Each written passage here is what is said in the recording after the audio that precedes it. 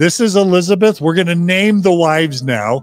You know, we're going to do something that we haven't done in our histories.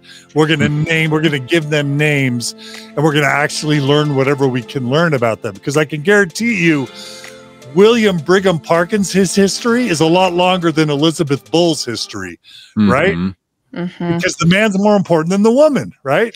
So So, out of curiosity, Yeah. where did you find information about these other uh, three women? it's only because there are a few oral histories that were recorded that that that like historical projects or descendants just happened to record that my cousin Ben Parkinson put together on a website. I But- see. But but the but the histories of these women are sparse, Gotcha. Hmm. right? It's Yeah. like a few paragraphs. Uh, you know, I was able to gather for all four of the wives. not not the exhaustive history you know just just william brigham parkinson's obituary provides more information than most of the histories of these women Wow. Mm. um so anyway uh, that that's what I that's the information I was able to gather. So Elizabeth Bull is born in 1853 in Salt Lake City. Her parents were sent to colonize Morgan, Utah. Um, she met William while he was working on their farm. So he's going to work for the Bull farm as a teen. He meets Elizabeth, who's one of the daughters on the farm he's working with, and she was his first wife.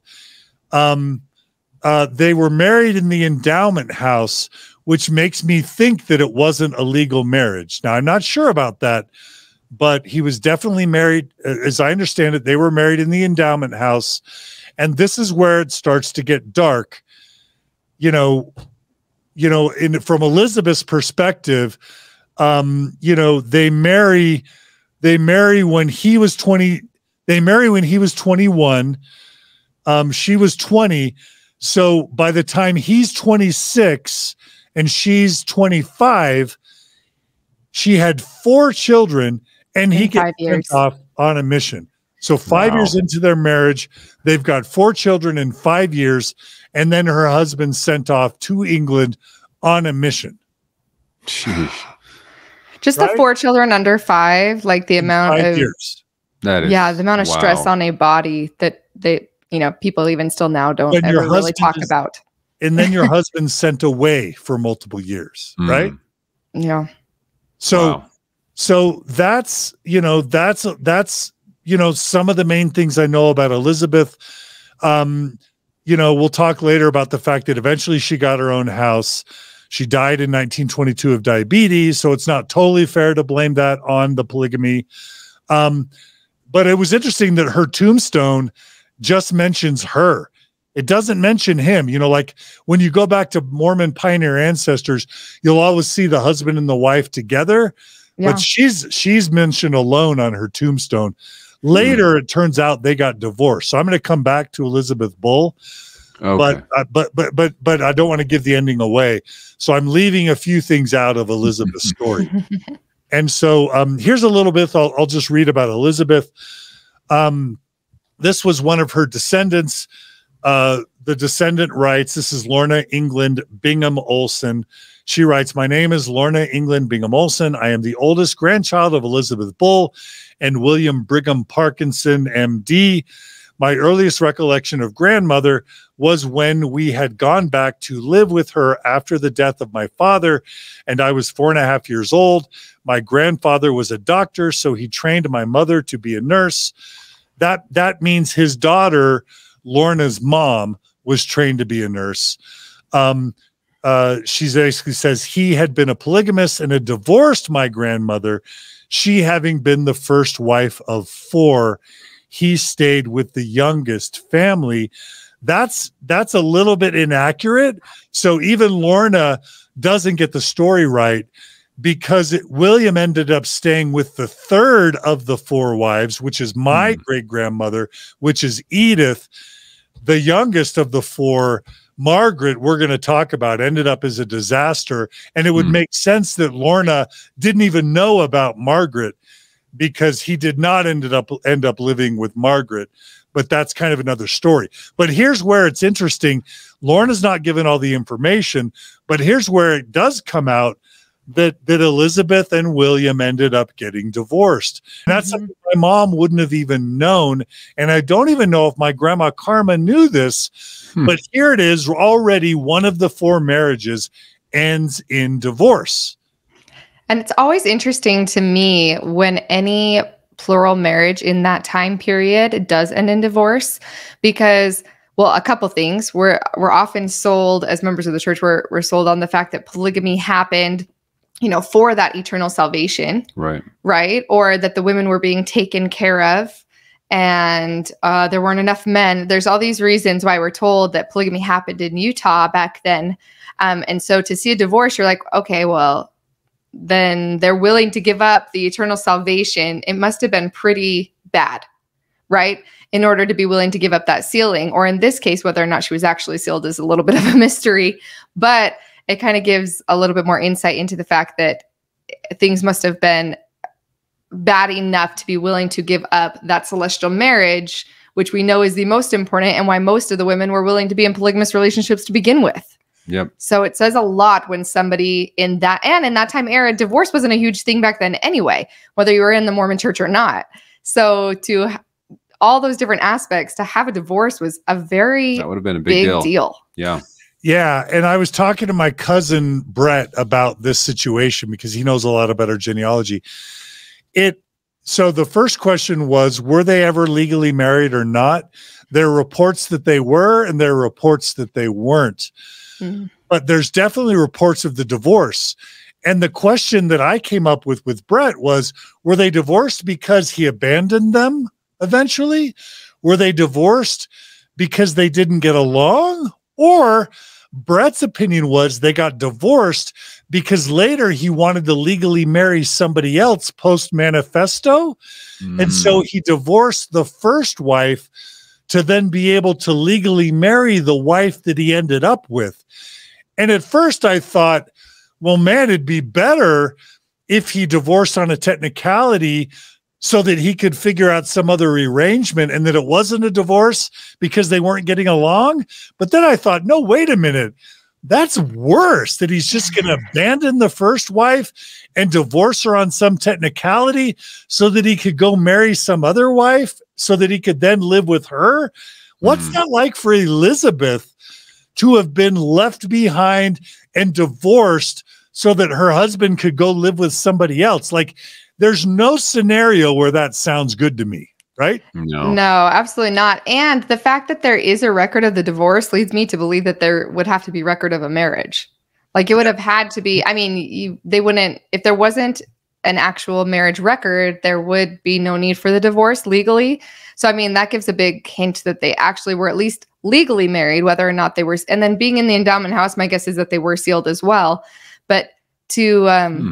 Yeah, to break up and have a divorce you got to wonder if the technicality behind whether or not that would cancel the sealing or whether or not they would view that as canceling the sealing back then. Because nowadays, if people get divorced and they've been married in the temple, then they go and they get a temple divorce basically as well. But those are two separate things in the LDS church. Those don't go hand in hand. And so, like you said, the technicality of, okay, well, if they got divorced civilly, would she still be sealed? But more importantly, if he wasn't going to live with her or continue on a relationship with her, then it doesn't matter what the technicality is at all. It matters about the living situation. If they weren't all, oh, I'm going to divorce you, but we're all going to still stay in the home and all be one happy family and still be living together, which it definitely did not sound like that's how it went, then it doesn't really matter what the circumstance was of whether or not she was sealed. Why would she even want to be sealed to a man that's going to do that? be stuck with him for eternity? Yikes. No offense Yeah. to your grandfather. And when these saying. women, yeah, and when these Mormon women entered into polygamy, did they ever envision that ultimately their their husband would leave them, end up living with the younger spouse, divorcing them, and basically abandoning them? And when you look at the history I showed you about Elizabeth, she died in 1922 of diabetes and was blind for the six years prior to her death. So she died blind for six years with diabetes Hmm. having been deserted by her husband.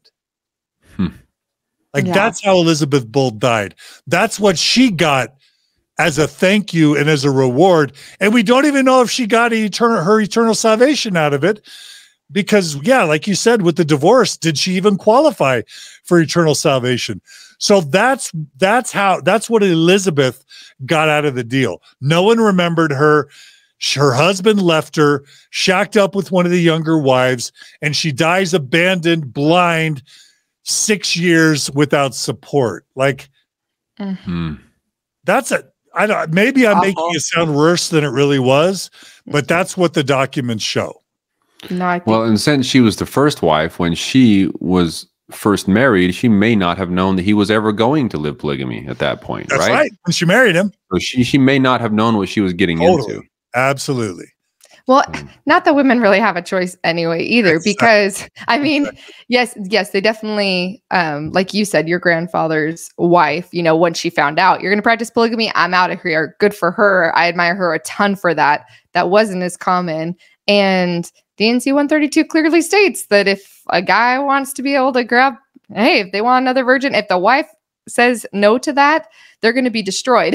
so, I mean, in that situation, yeah, women def I don't think there's any way a woman could fully comprehend what that is going to look like until it's already, I don't want to say too late, but it's already upon them, you know?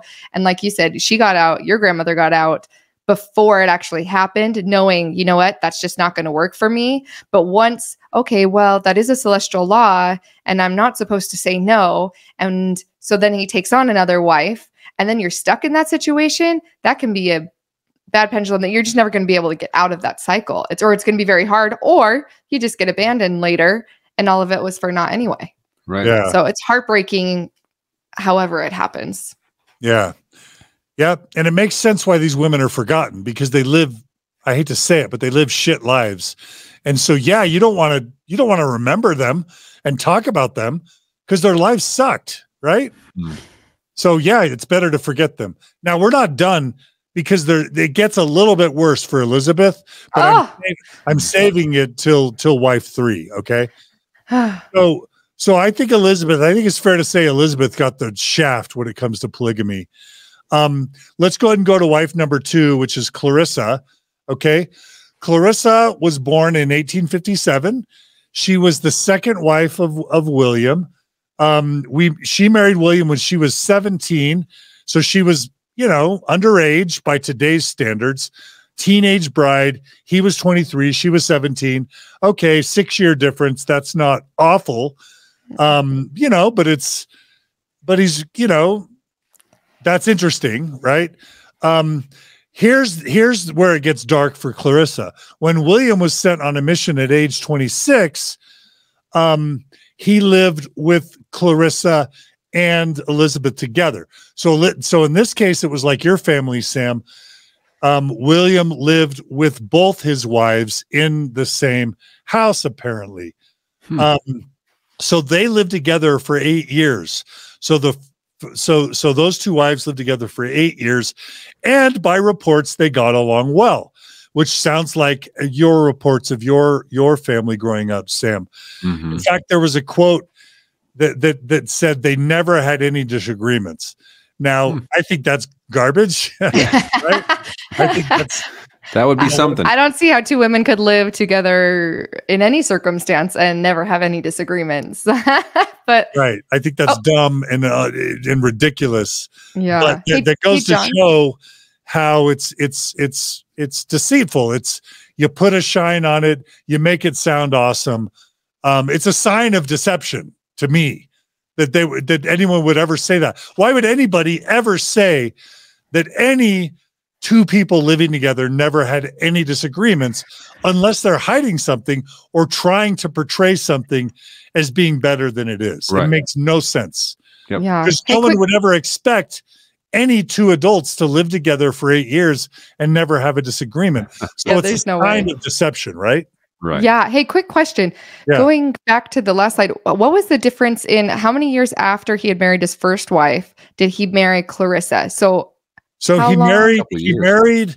He married uh, years, Elizabeth in 1873, okay. and then he married uh, Clarissa in 1875. So Okay. he married Clarissa two years after marrying Elizabeth. Okay, I only asked that because when it said they um, lived together for eight years, I was just wondering how long. When he was sent on his mission at age 26, they had already been together as sister wives for about three years before he got That's sent right. away. That's okay, right. I was Yeah. just trying to get that.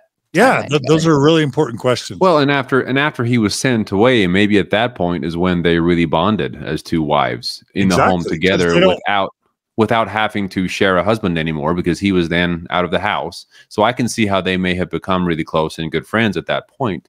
Uh, you know, but I, I, I know for a fact that women they're they're they're still human. It, it's it's not in, in a plural a plural marriage. There's going to be disagreements and difficult uh, challenging feelings when you see another wife with your husband. Yeah. Do we know how long William was on his mission for? I'm going to guess it's a couple years, but I'm not Okay. totally sure. Okay, gotcha. Sorry, Yeah. I was just thinking timeline when I've I'm like, okay, that. they lived I've together for that. lived together for eight years. You know, she he got a second wife two years. So and then it was another three years. So they had already been together for three years, the sister wives, and then they still lived five more years after that. So they would have been, um, yeah, been living together for quite a while. Yeah, yeah, yeah. I, I, I, I would love to know how long William's mission was, but I'll tell you this: it was long enough for two of his children to die and him not to attend the funeral. And so Oh, that, man. and I don't mean to be flip about that, but this is where it gets really dark. So William has two children with Clarissa, and five. Was it five we said or four? With It was four and five years, four Okay, yeah. children. And So- then that would have meant three years because if he left on his mission at 26, right? So in three years, he had two children with. Yeah. Yeah. Yep. So he's got so he's got six children at the time with two wives, six children with two wives, all under the age of what, five or six? Yeah, by the five. time he gets sent on his mission. Wow. What's that? Yeah, under the age of five. Yeah. Because yeah, five years till he'd gone on his mission. So six, six kids under five. Under the age of five, with no husband on the frontier and no financial support. So basically, their dads, Clarissa's dad and Elizabeth's dad, have to financially support Elizabeth and Clarissa just mm. for them to make ends meet.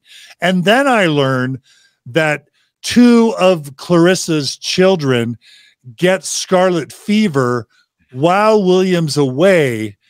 They get sick. He's a doctor eventually. He's gone. They get sick, and the kids die while William's on his mission. And he misses the funerals because he's not able to get back in time. Wow. It's wow. crazy. I cannot imagine. Like, where's the revelation in that? Where's like, we're taught that when we get called on a mission, it's of God and God ordains it. What in the heck was God doing calling William on a mission, knowing that that two of his kids were going to need their dad, but instead they were going to die while the mom is watching her two babies die without any husband support because the church needed him to go get more converts in England? Like, this is abusive to me and it's it's egregious and irresponsible Hmm. yeah. and it's tragic and it makes It me is. sad and sick um, to read about that but it gets worse because william comes home and guess what he immediately goes off to medical school in chicago and like you asked melissa did he Mhm. take, did he take elizabeth and clarissa with him to chicago no he leaves them again and he goes off to college. So for the whole time he's studying in Chicago and Louisville, guess what?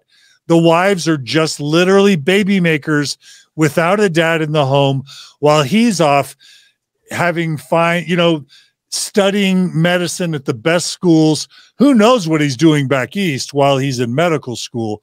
But he's certainly being intellectually stimulated, advancing in his education while his uneducated wives are back home alone um you know uh raising the children Now, didn't he have his third wife by the time that he left for college? Uh Sorry to go I'm back in getting, i'm timeline. getting there i'm getting Oh, okay. I was like, the third wife intrigues me. And also, is there any indication as to how he paid for all of the schooling? Was he sent by the church to go become a doctor? because I don't know that. I don't know that. it's Those great interesting that I mean, obviously he's self-made. We know that at 12 he had no one, right? So to even be able to serve a mission, I mean, at least at that point, you know that the church was paying for it as they should. maybe, And maybe, maybe- unless it was that without purse or scrip thing. I don't even know. yeah, who I guess that's true. But so he's serving a mission, which you know costs money, and the wives are being taken care of by their fathers, right? But then to come back and immediately go to school, which even colleges back then, that's not cheap, especially at good schools. No. And so at this point, I mean, everything you shared about um, him being prosperous has was like post after he became a doctor, after he already had that education. So it makes me really wonder. Yeah, Someone had to have been yeah. paying for it, Did the and I wonder if it was the church. Did the church pay for his mission? Did the church pay for his medical degree? Um, how how did how did that happen? Those are all great questions, and I don't know the answer to that. Yeah, I don't know whether he worked his way through medical school. I I, I would love to know that.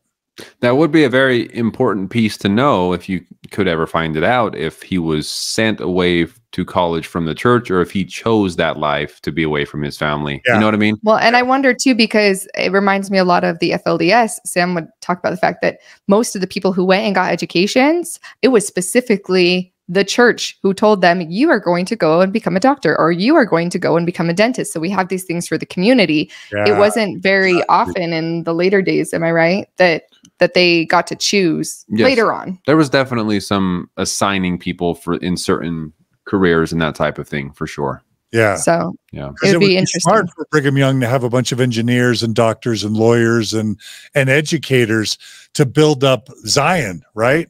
Yeah, they had So- to have seen that as something that would be worthwhile for them. And at this point, it seems like everything else he's done, you know, at the expense of his family, you'd almost feel like the only if he's already expensing his family for the greater good of the church, like mission, then it would be an easy sell to say, well, now you should go become a doctor for the church and Yeah. leave your family again.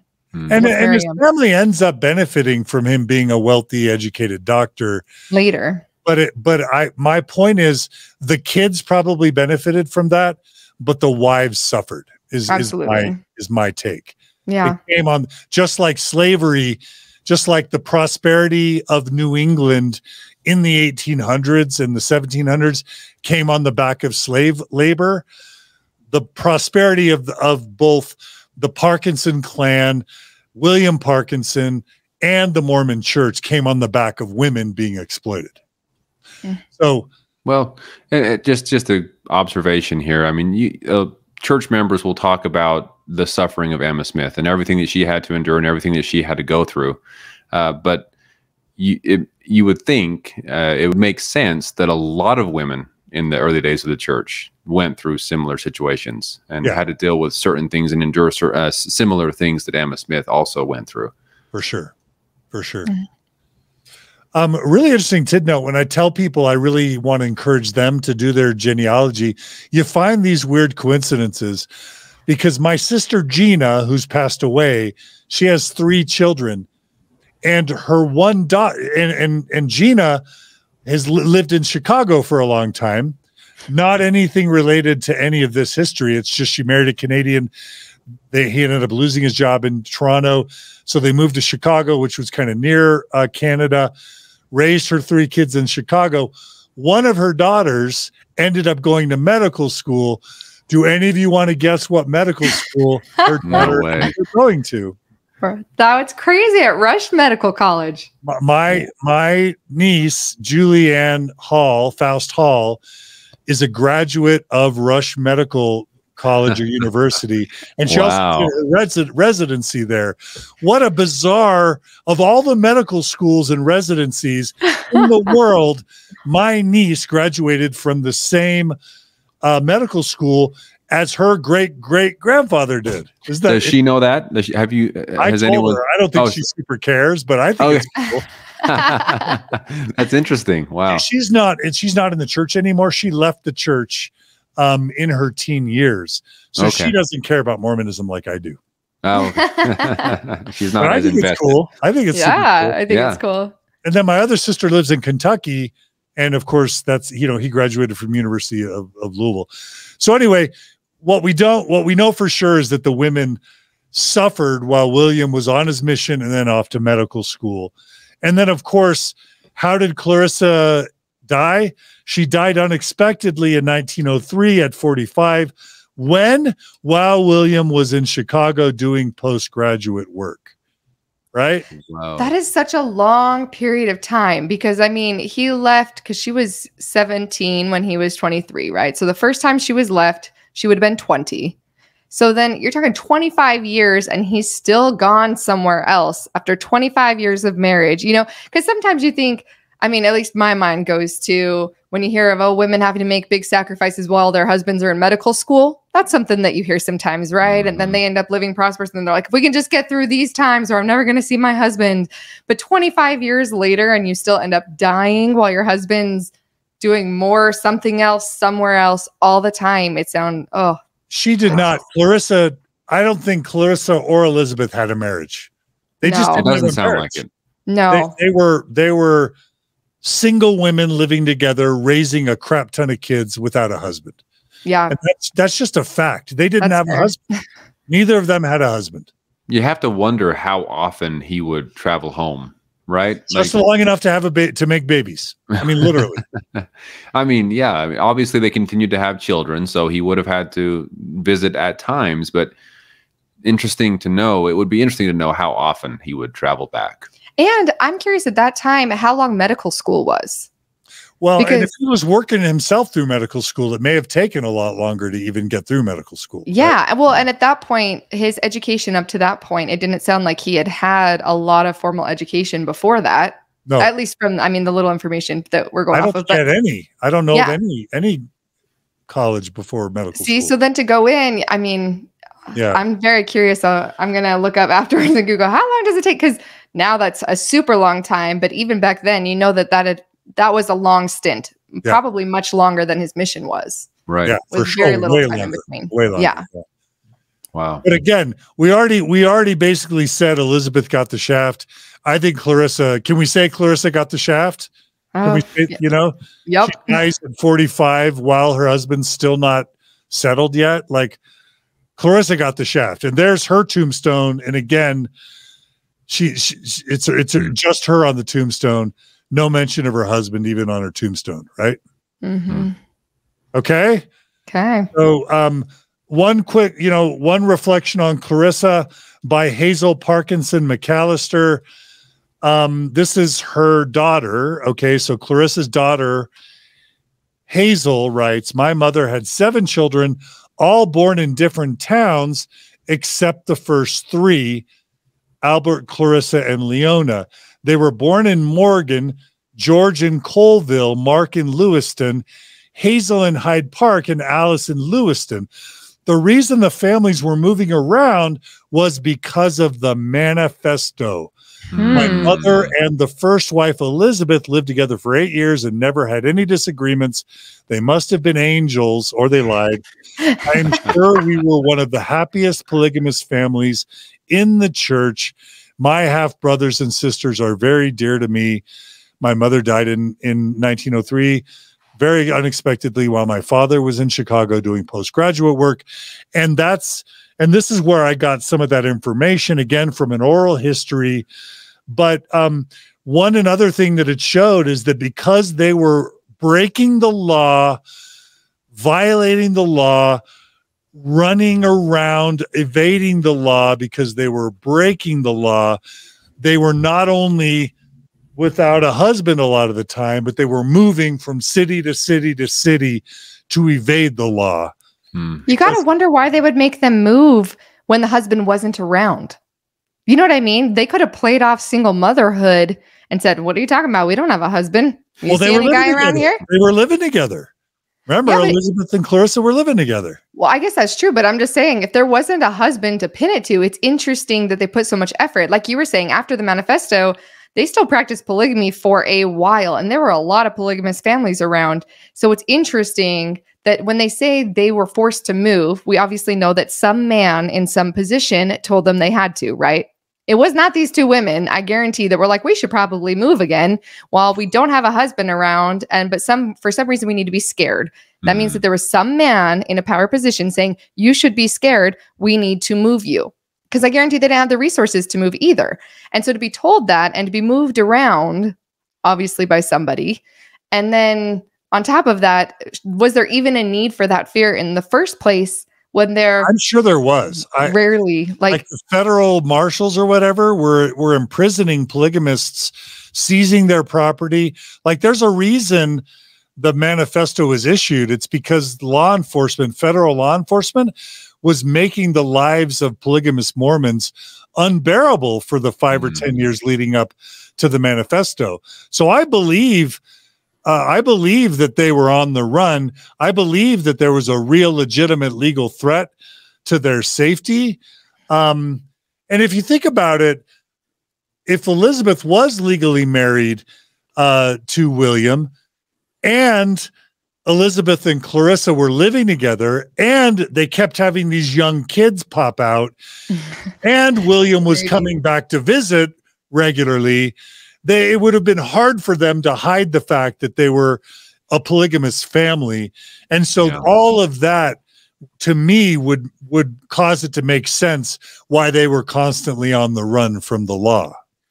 yeah, I guess that's true. Yeah. Yeah, no, I can, I can see, see that. that. I can see that for sure. Um, and I mean, I guess one of them could have moved and the other one stay behind. I guess that could have been a solution as well. I'm not sure why they. But I think they relied on each other to just survive while the or- dads yeah, maybe at that point they were so close they didn't want to live apart. That's and, and the children grew up together as well. So that's something to consider. They probably and I'm didn't sure want the kids were helping the family survive, right? exactly. Yeah. Like in your like in your case, Sam.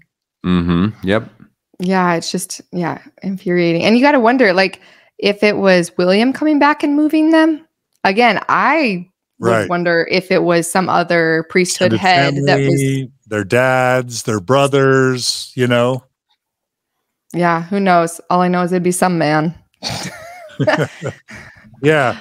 And and when and when Hazel when Hazel writes my half brothers and sisters are very dear to me, it's probably because Hazel grew up in this home where there was no dad and the and the half siblings all become became besties and and and lived together for so long, right? Oh yeah. Oh yeah. Yeah. So I just think there's there's so much that's just a, a paragraph like this is so rich and fascinating Mhm. to, to me. Um, Right. but again, the Mormon Church, Joseph Smith, in the Articles of Faith, one of the Articles of Faith that Joseph Smith told the world was um, we believe in being subject to kings, presidents, rulers, magistrates in obeying, honoring, and sustaining the law. So, what Joseph Smith would tell the world is that we're law abiding citizens. But what he would actually do, and what Brigham Young and, and his successors would do, was violate the law left and right, hide and Mhm. lie about it, and deceive people as as as criminals, as felons, right? And so there is this real legitimate history of lawlessness that is not only in Warren Jeffs and the FLDS history, it's in my history as well. Yeah. My my ancestors were criminals, fugitives, fleeing the law because they were they were breaking the law and hiding hiding it and lying about it. Yep. All all for eternal salvation though. I mean Yeah. that that eternal Oh, yeah. salvation. Yeah. If yeah, if eternal salvation is at stake, I mean, I've seen it firsthand. I've done it myself. That uh, you you kind of do what you have to do to to survive and and to continue living on what you are taught is the only way to return to the highest degree of glory, as you mentioned earlier. Yeah, it's that only part. When there's only one way, Mhm. then that's when nothing else matters. Yeah. Yeah. Um, interestingly, in Karma's history and my grandmother's history, she writes about Clarissa. So this is the one instance where Karma actually mentions one of her other mothers and and uh you know some half siblings. So Karma writes um someone asks Karma in an interview, what about the second wife? Who was she and where did she come from? And so Karma describes Clarissa's life, and she basically tells a little bit about what their life was together. Uh, she says Clarissa came from a fine family in Lewiston. She had about the same number of children as my mother did. They were very good friends. My mother was very fond of her. So this is now Karma living with Clarissa instead of Clarissa living with Elizabeth. So we know that Clarissa lived with Edith, the third wife, for at least part of the time. Um, my mother often told me how they would visit together. Uh, when it was time to have dinner, they had so many children. When they got them all together, they would cook corn for them. They would cook in a boiler. They used to have boilers that they would boil their clothes in when they laundered them. They would put the corn in those big things and cook it. Mother, meaning Karma, really loved her, meaning Clarissa, but she died when her youngest boy was 17. He came to live with us. So that made a big family for mother. We usually had hired a girl in those days.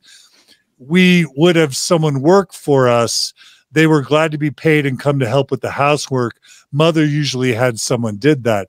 And so what we find out later is that when Clarissa died relatively young, Edith, the third wife, helped raise one of Clarissa's teenage sons. Hmm. And Karma knew that son and kind of grew up with them. So anyway, um, there was a there was a point when Clarissa lived with Elizabeth, and then there was a point where Clarissa was I don't know if Clarissa lived with with Edith, but Clarissa was close with Edith, and Clarissa's children and Edith's children all spent a line a lot of time together in Logan. So yeah. that's interesting as well. And that gives a little bit of insight too to the fact that at this point, um, William must have been pretty successful in order for them to be able to hire help. Right. Even oh. with that many children. Like Sam said, at this point, like you have to have, you know, kids start really young having to help. But if they're hiring out at this point, at least they're reaping some of the benefits oh. of oh. his status. For sure they were. For sure they were. Um, and and let's let's actually touch on that. This was a really fun quote or an interesting quote that I pulled out. Um, this is from a the um, Taggart family newsletter. Some guy named Spencer Taggart is describing, uh, I think his mom or grandma, but he basically writes Six days before her 18th birthday, Clarissa married William to become his second wife. Two years earlier, at the age of 21, he had married Elizabeth Bull, whom he had come to know and love while working on the family's farm in Morgan. We know nothing about how Clarissa met William and Elizabeth. This is where it gets fun but we can believe they were a satisfactory threesome.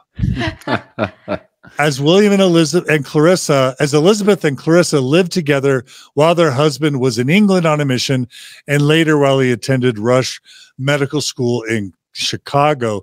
So I just thought that was really funny and interesting that they were referred to as a threesome. I've never heard that from a polygamous standpoint. That's very interesting. Me neither. a satisfactory threesome. so um, thought that was kind of funny. Okay.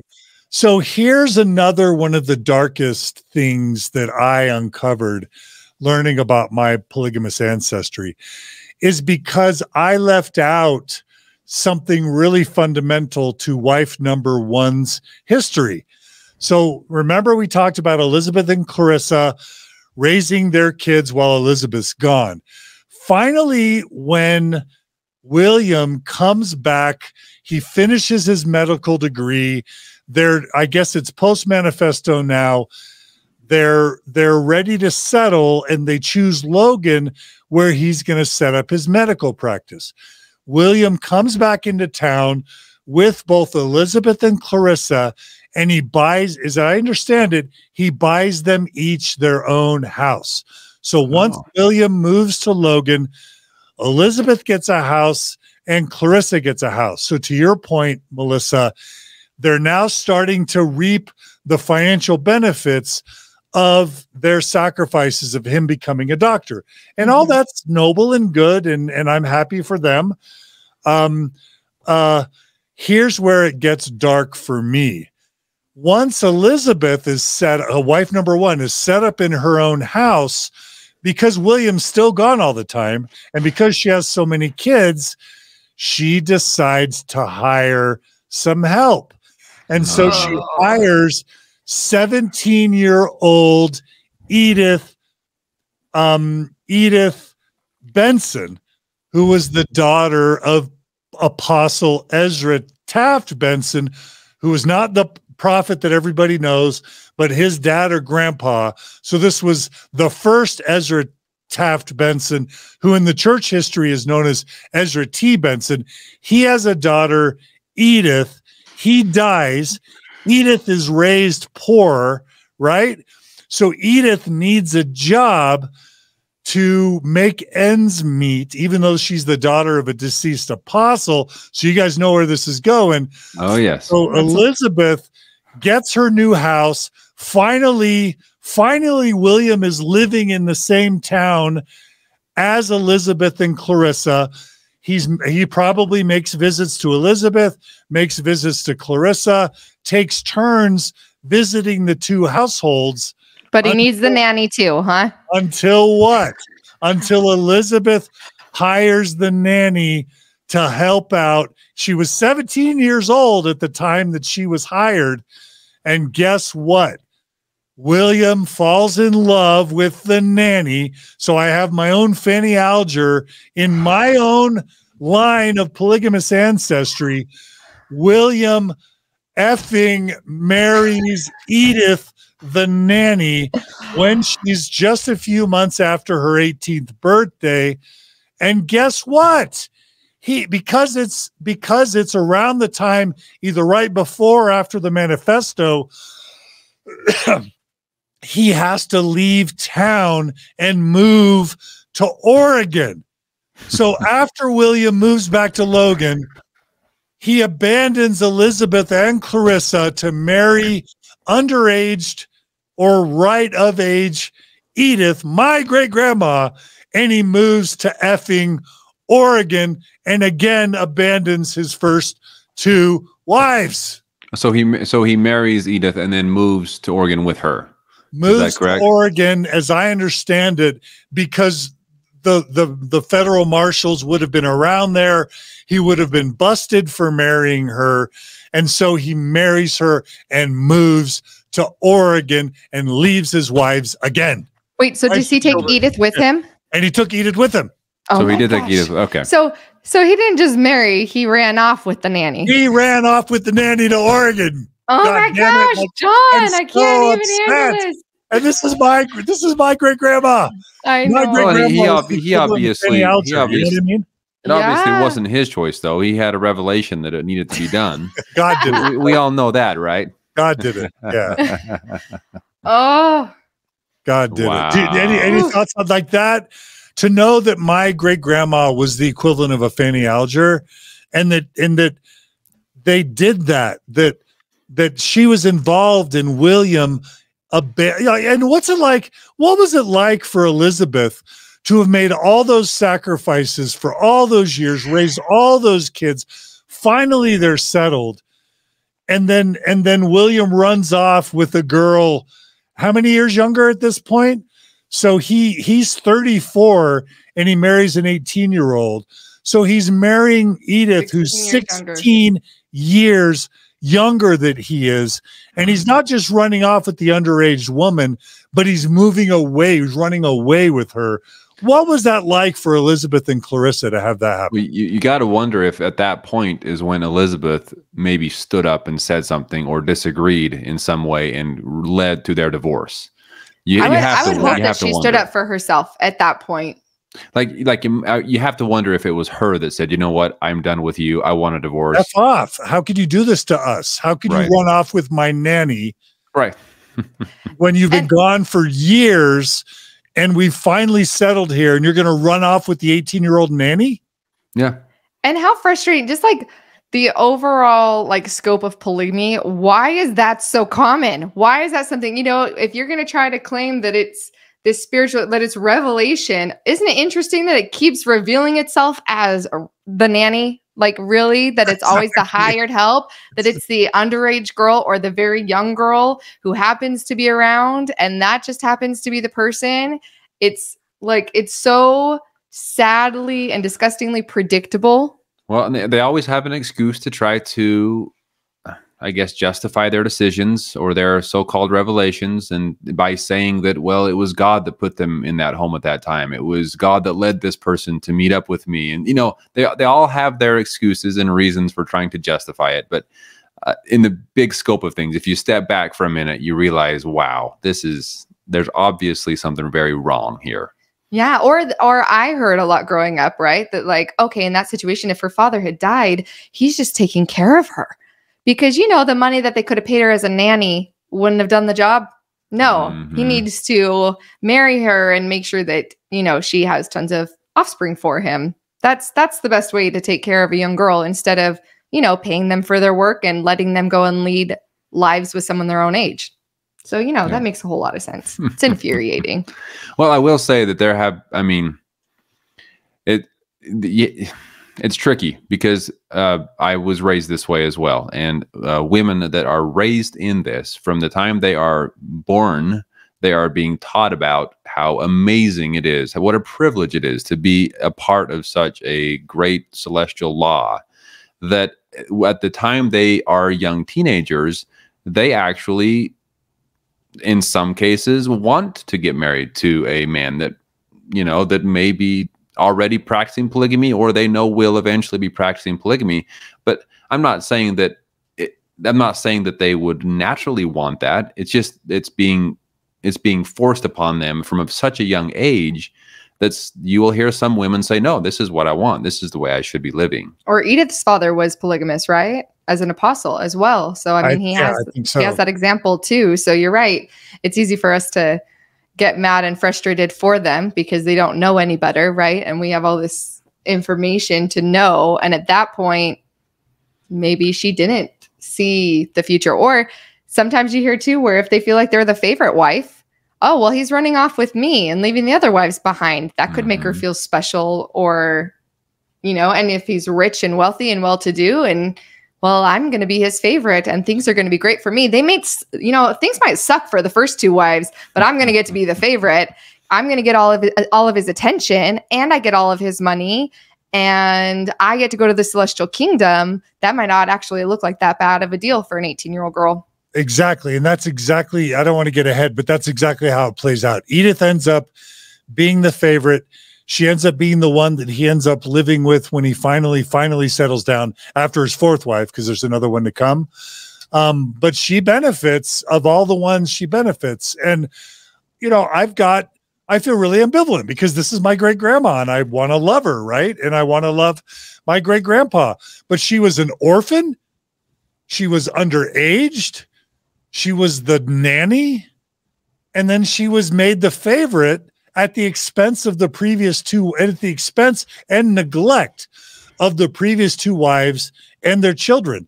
So am I happy that the other women got neglected and and the other children got neglected and rejected and and were kind of put aside for the favorite? Like who wants to be the non-favorite spouse or the neglected or put away spouse? And and by the way, what is freaking William doing marrying someone 16 or 17 years younger who's the nanny, who's an orphan? That's just got all that gross Joseph Smith vibes that that made me makes me hate Joseph Smith. Uh, makes me hate Joseph Smith's behavior and detest his his uh, his character. That's my great grandpa, and it kind of bums me out a little. And maybe he was a good man. I don't know, but like this makes my stomach sick. You know, to learn this about my great grandma.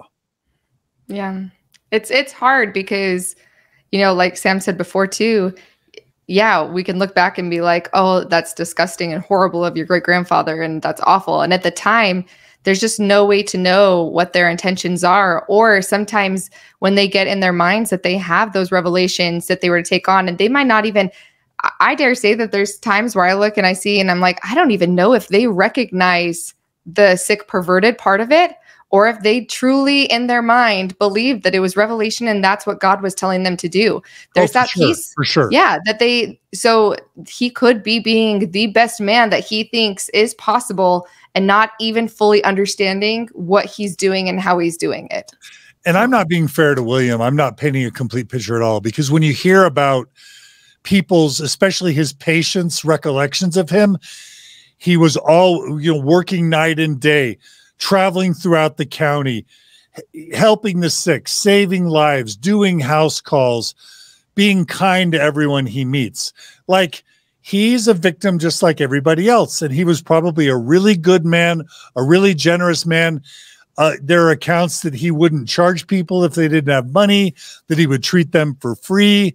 So this is just a guy living his religion.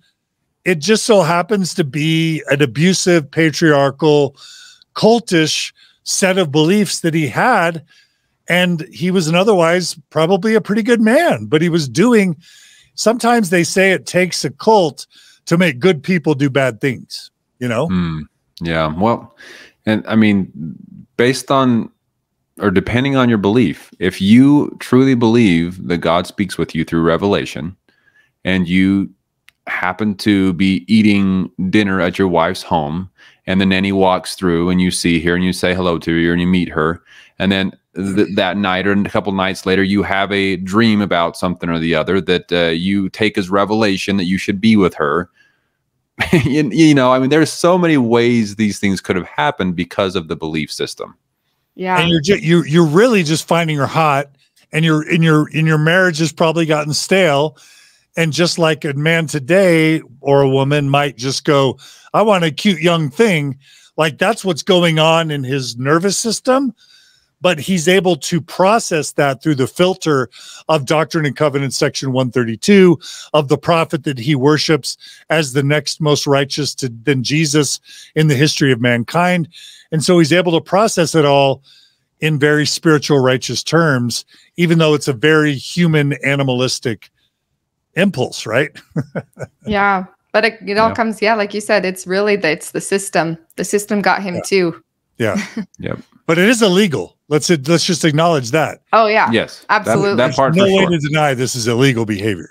Yeah, absolutely. Yeah. So, um, so a couple things we know about Edith. She was born in 1867 in Logan. Again, her her dad was Ezra T. Benson, an apostle. So she came from prestige, and so I'm sure one of the things William liked about her was that she came from a prestigious family, even though the the prophet Ezra. Benson had died. Um, one thing that was interesting is she was rebaptized at age 17.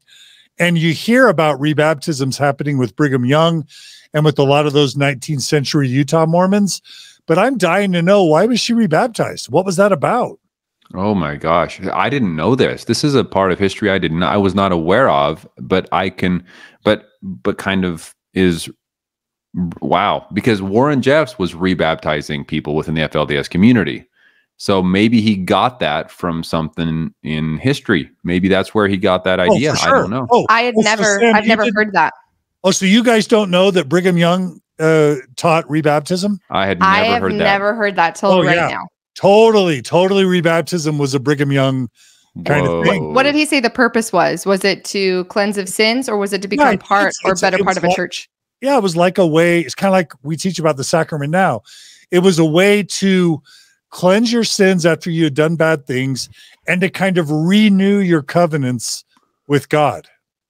Huh. That sounds so much like Warren Jeffs. I- I'm trying to I'm trying to rack my brain around this and, rem- and try to remember if maybe things like that were taught in the FLDS growing up. I don't recall, but I can understand why followers of Warren Jeffs would now look at that and say, "Well, it was done back in Brigham Young's day, so what's wrong with it?" So, wow, no, I had no idea.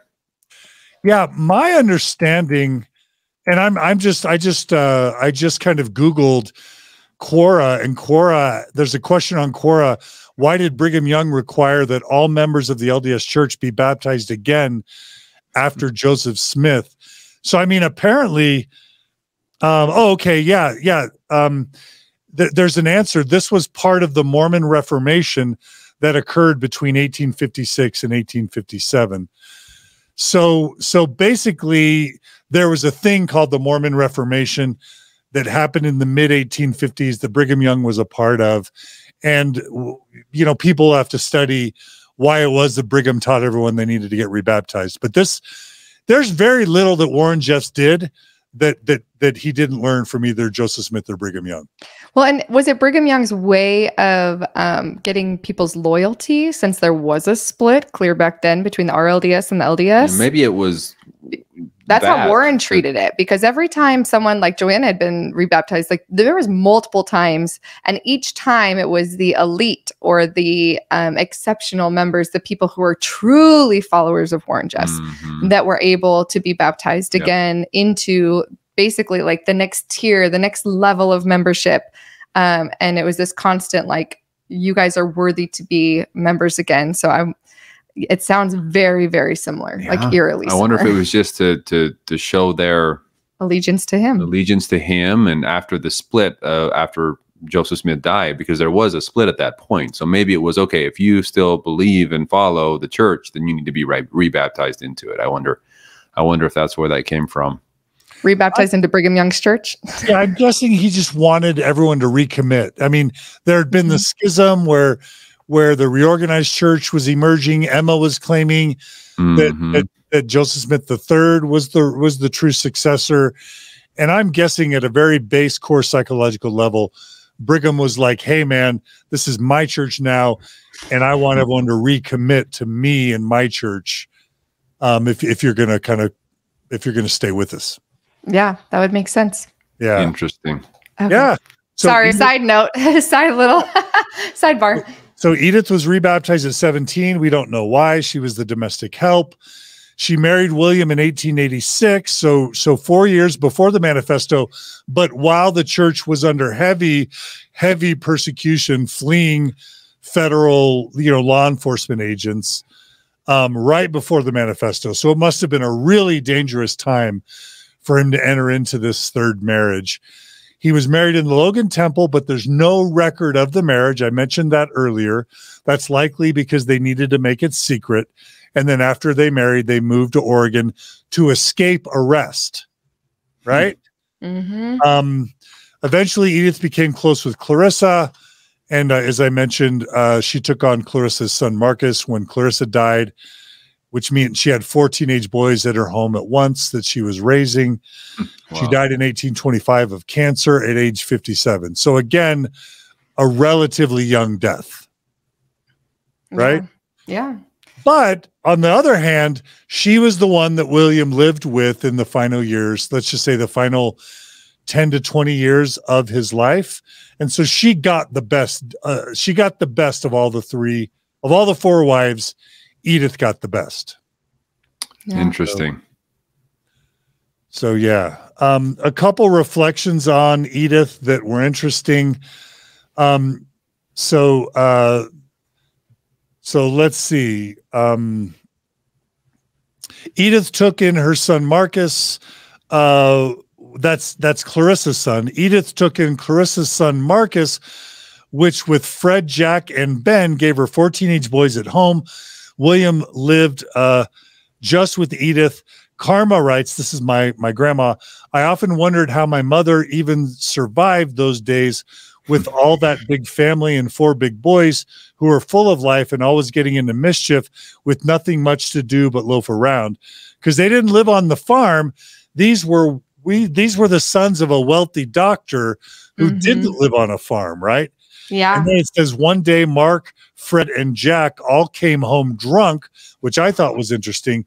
She sent them all upstairs to sober up and locked the door. I thought they would knock the house down. That's kind of funny, right? Oh, yeah. Moments like that, I just I love when you read past things and realize that like people are people and kids are kids. You know, those moments of just like relating to things and you're like, man, boys back in the day are the same as what you'd think of if there was a house full of teenage boys now and kind of bring back to home that there's this connection that yeah. you know, time doesn't matter as much Except- sometimes. Except maybe dad was living in Oregon, so Edith's got I mean, who know who knows? Maybe he was off with his fourth wife. So like Edith was left probably a lot of times to raise these children without the dad around, right? I just- I mean, it imagine seemed like he wasn't around much at all Yeah, with any imagine of the wives, raising four teenage boys with no with no fatherly support. right? Man. Oh, Yeah. Well, I That thought that was a tough. fun and an interesting story. Yeah. Um, another thing that's kind of sad. Uh, this was just this is kind of pandemic history because now in 2022 there's still a global flu pandemic going on. This came out of the history quote when the when the flu epidemic hit in 1919. William worked day and night. Those were terrible days. Every day, someone called to tell mother of the death of some dear friend or relative. We had to wear masks over our faces if we went into public places. And then it got so bad that all schools and places of entertainment were closed. People who were well enough uh, were asked to go into homes and help those who were stricken.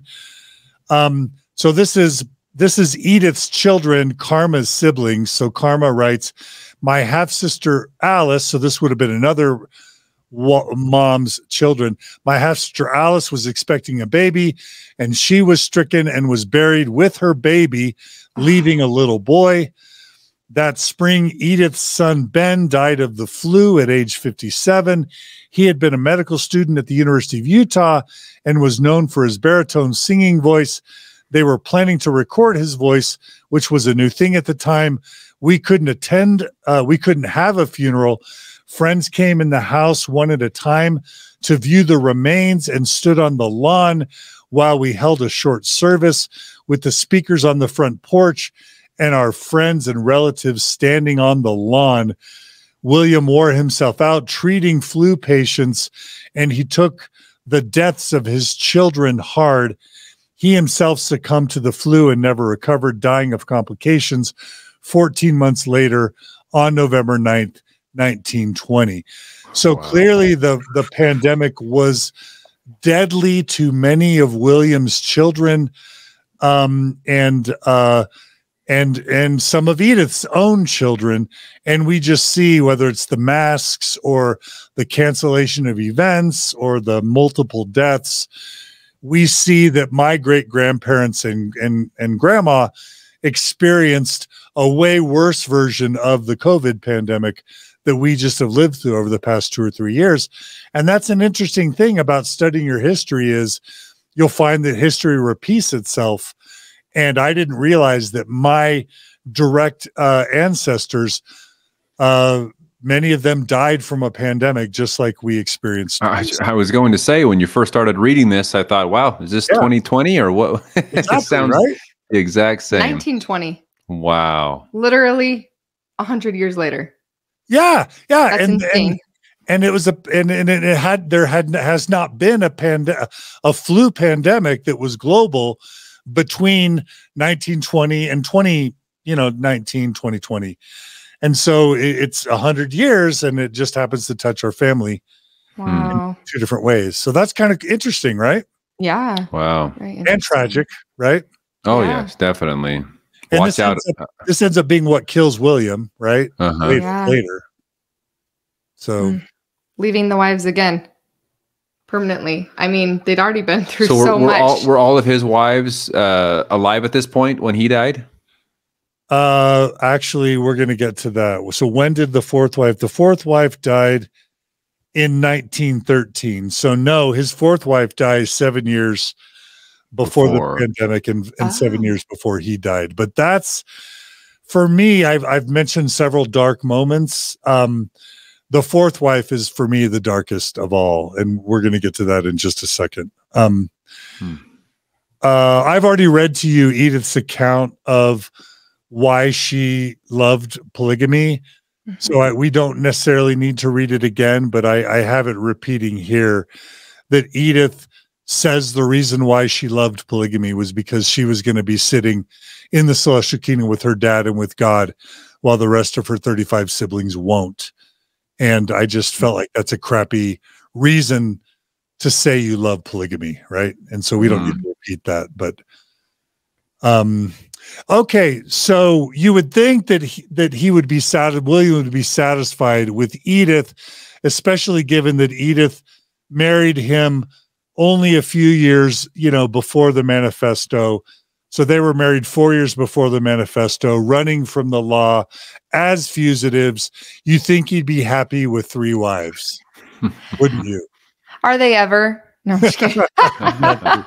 Sorry. However, but no, um, William marries a fourth wife, and her Mm. name was Margaret Wallace Sloan Parkinson Shaw. So she had a lot of names, Wow. Um, but really she was known as Margaret Wallace Sloan, and um, and so she was she was born in England. Mary, she was born to Edward and Mary Wallace Sloan. Uh, I think they were Scottish. They came to Utah. Her dad, Edward Sloan, wrote the hymn for the strength of the hills. Oh wow. He was an editor for the Millennial Star, so he was an educated, af, you know, influential early Mormon pioneer. He eventually became the editor of the Deseret News and the founder of a competing newspaper later called the Salt Lake Daily Herald. He was the co-founder of a progressive publication called the Women's Exponent, um, which is kind of cool. Um, and interestingly, there's an account that says that Margaret's dad didn't like the idea of Margaret marrying William because William was a polygamist, but her dad was also a polygamist.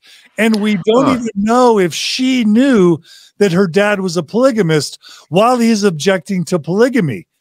So that's a big question mark that's super weird and fascinating, right? I wonder if at that point uh, some, the leaders of the church were starting to say, okay, so those that still practice polygamy continue on, but we're no longer longer going to allow more marriages. Maybe, maybe that was around that time, and that's why her dad was not really agreeing with it. I, I'm not sure, but I know that that that, that time did come. Yeah, because I guess if he was a faithful, believing Mormon in the in the prophet and believing that the manifesto was inspired and not just some trick to get the government off of, you know, off of their, uh, yeah, off of their case. If he actually believed that that manifesto was revelation, then I can see where he'd be like, uh, I don't want you to get into a polygamous relationship now. Or maybe it was for her safety too. You know, if they're going to run from the law from his last marriage and it's post manifesto now, it could have been purely for the safety of his daughter. Or Okay, yeah, oh. go ahead. Go ahead. No, I was just going to say, or maybe as a polygamist himself, he saw what some of the women went through and he didn't want that for his daughter. Totally. It could have been as simple as that. Totally. I love that analysis. And by the way, if if if it's true that Edward Sloan after the manifesto was rightly opposed to his daughter entering into a polygamous marriage, why was William okay marrying 2 years after the manifesto was issued? What was it that made William who would have known that the church told the world, "Hey, we're not doing polygamy anymore." what was my effing great grandfather doing marrying his fourth wife two years after the the man he worshipped as a prophet seer and revelator or sustained as a prophet seer and revelator what was he doing marrying his fourth wife after the man he sustained as a prophet seer and revelator had told the world that the church was going to no longer practice polygamy what was up with that mm-hmm. william what are you doing yeah, William. yeah. That's gonna be the new saying. new saying for the rest of it. Yeah, William.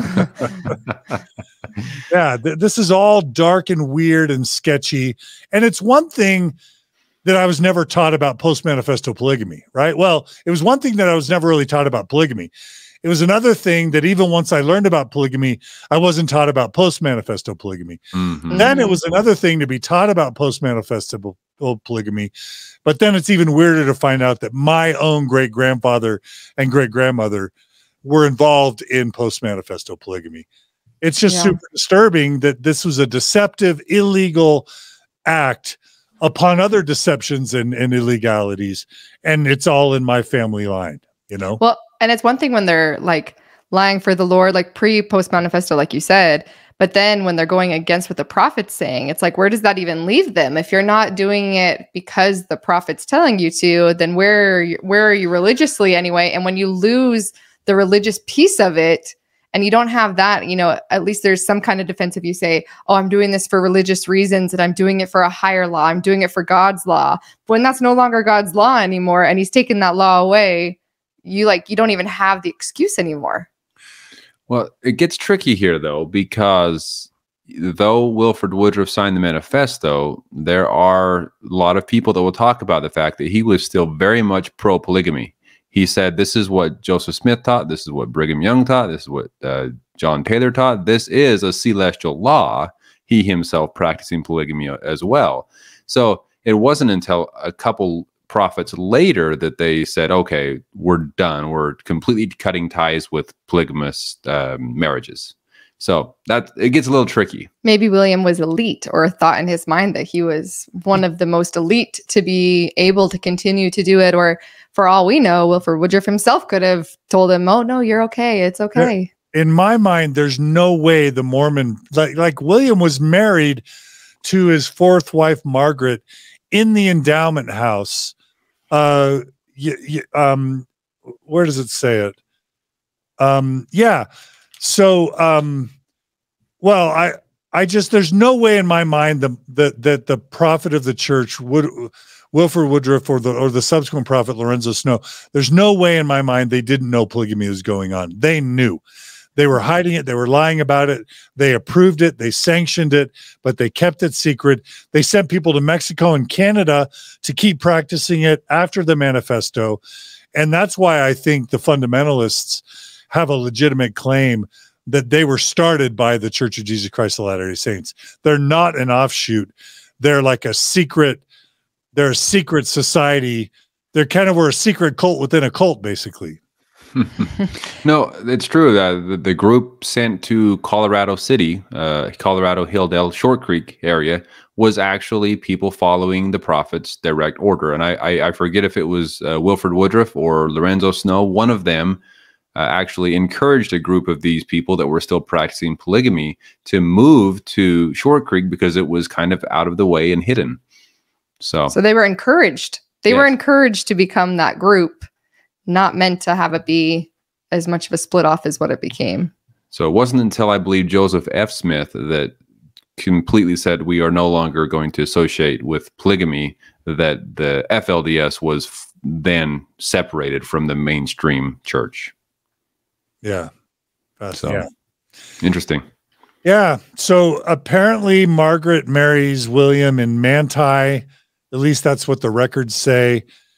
It's some reports say she was the only one who was legally married to him. Hmm. Um, like, like, which was weird because I would have thought it would always be the first wife that would be married. We talked about this at the beginning, but then other reports have the first wife, um, Elizabeth, being divorced and a divorce would imply that there was an originally a marriage. Um, but but it it looks as though um, Margaret was legally married um, to hmm. William, um, and and so that's weird. And then the other thing that makes this super tragic is that they struggled to have children. There's re- there's a report of two stillborn boys um, but then there were three girls who were born. But then there's a report that two of the two of the three girls died in 1900. So mm. of the five children that they had, four died, two were stillborn, two died in 1900. One was one was four and one was seven. Um, and and and then Louise was the only living child of the four. Um, and um, I will just also say that there's this really disturbing report that comes from the descendants. I'll just read it. Um, one of the descendants wrote The fourth wife came from a fine family in Salt Lake, and she still had a brother living. Her health wasn't good. I used to like to go to her place because she had the most beautiful flowers the place was lovely. She had everything growing. She had almost a whole big yard of peonies. She left and went to Oregon. She was sick and they took her up there to take care of her. I went down there in my little wagon and dug up the those peony bulbs and brought them home and planted them. So there's there's one account of her being sickly, of her going to Oregon which kind of like begs the question why was she sick? Why did she go to Oregon? What happened?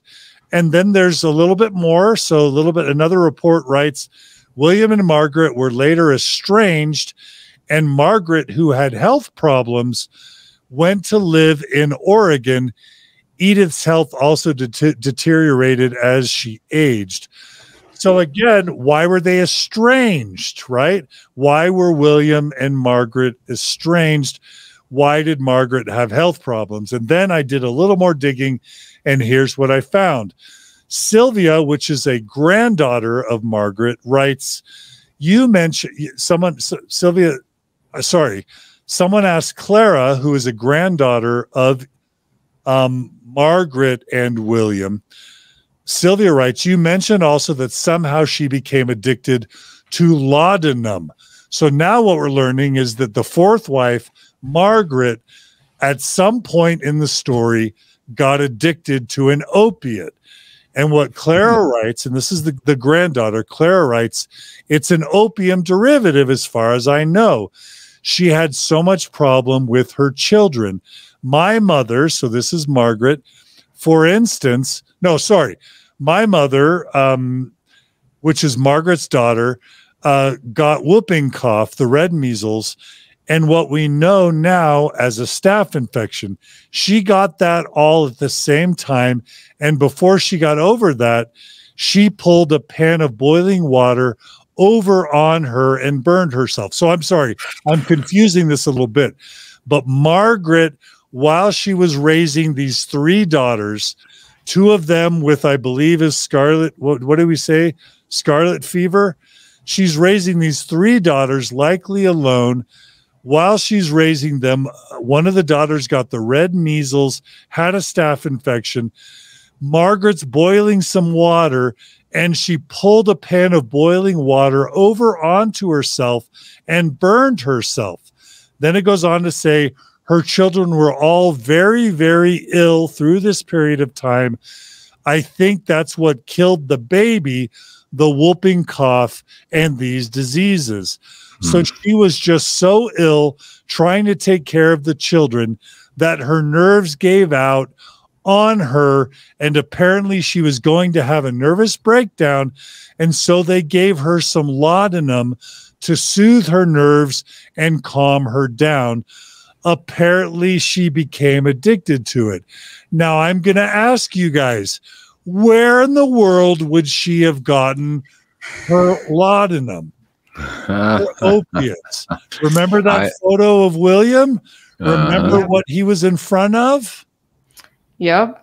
It was that was what I was thinking. I'm like, who has access to that? Oh, but of course, her, her husband. husband. was a doctor. Yep. I was like, no yep. other women in that time probably even had access to opioids. Like that was not no a idea. I can't imagine that being that common back then. Right. To have access to that. And so I don't want to give like a worst case, you know, uncharitable interpretation, but what I'm piecing together is that William does what he does, which is he runs off, marries an underage girl, starts having a bunch of babies with her, but by now is he in is he in Germany? Is he in France? Is he off doing his postdocs? Is he off studying in Chicago for his postgraduate work?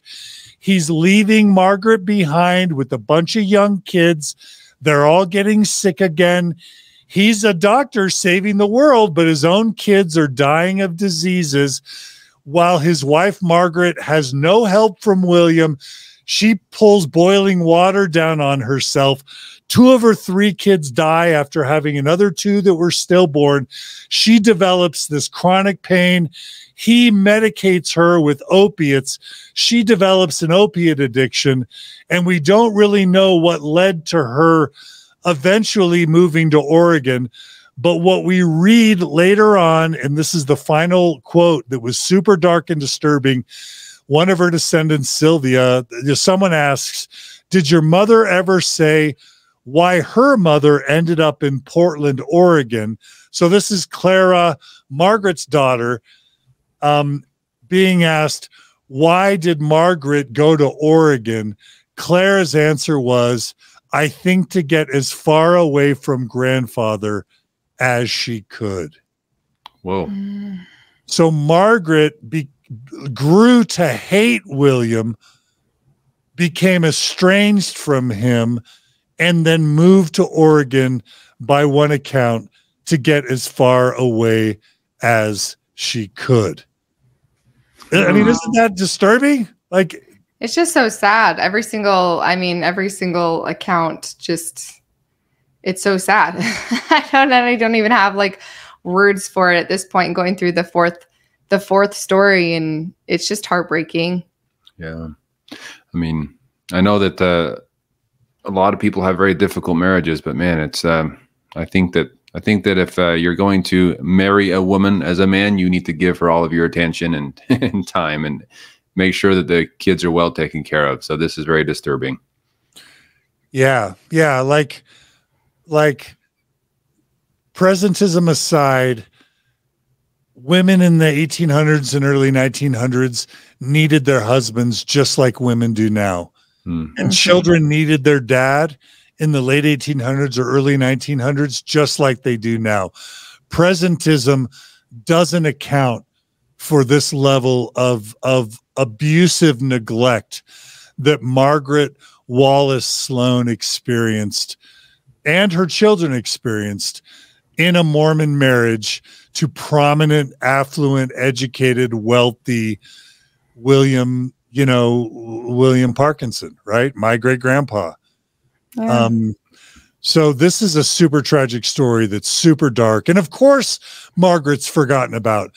Of course, one of Edith's grandchildren says that that that William ended up with her with with his last wife, Edith, because the fourth wife, Margaret, was completely forgotten because that was such a tragic story.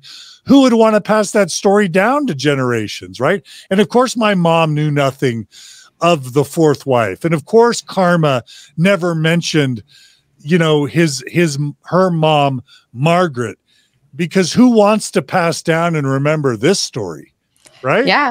Well, not only that, yeah. but I mean, technically out of the four wives, the first wife, at least from what we, you know, with our investigative uh our investigative time here has been it seems like the first wife whether she asked for the divorce or not she wanted to get away from him right? Or would it seems that that was the case? Yeah, they're, and they're then the, estranged and divorced for sure. Estranged and divorced, right? And yeah. then the fourth wife wants to get away mm-hmm. from him, so he really only like at the end of everything, he only had two wives, and one of them died young at forty five.